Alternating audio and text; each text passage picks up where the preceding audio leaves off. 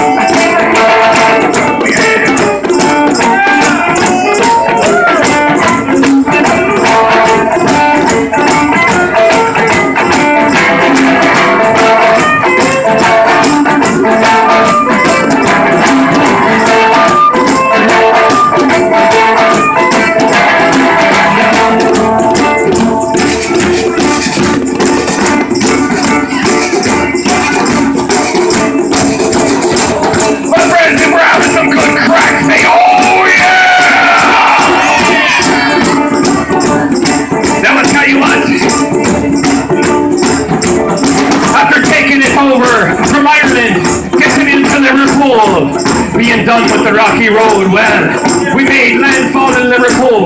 I went up to the nearest pub that they had. After that, said, this sounds like a good thing. I ordered an ale from the from the barkeep there. And the barkeep said, that's fine. Oh, just fresh off the boat, are ya? Oh, but then all of a sudden, from the corner of the pub, right down the bar, just a little bit, a whole bunch of Englishmen, the Liverpool lads they were, of my accent. They started saying that the Emerald Isle was nothing, that it was just a big green booger on the planet. Well, I couldn't take it no more. And so this is the way it happened. This is the way it went down in a pub in Liverpool.